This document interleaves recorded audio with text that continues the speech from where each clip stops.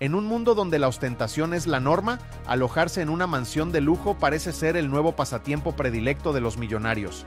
Las llamadas branded residences, que son básicamente propiedades con una etiqueta de diseñador, están convirtiéndose en el centro de atención para aquellos que buscan mezclar el estilo de vida exclusivo con la comodidad del hogar.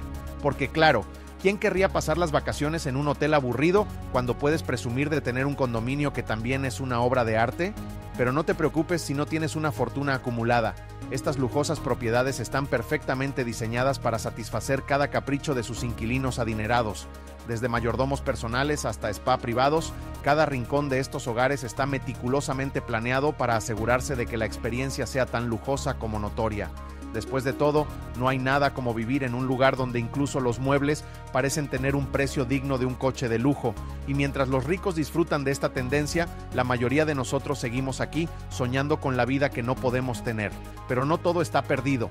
La nueva moda podría inspirar a las generaciones a buscar investidas en diseño de interiores o al menos aprender a hacer un café que sepa un poco más a café y un poco menos a agua caliente. Ah, y un dato curioso. Se estima que el mercado de las branded residences superará los 200 mil millones de dólares en los próximos años, así que si tienes un par de millones a la mano, ya sabes qué hacer.